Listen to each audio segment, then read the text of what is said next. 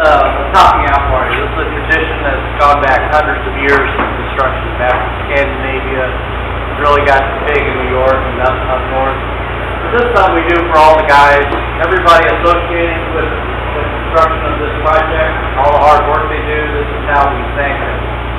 Uh, it's been a lot of work to get to this point, and everybody associated with it, I just want to say thank you very much for all your hard work, and I hope you all enjoy the food.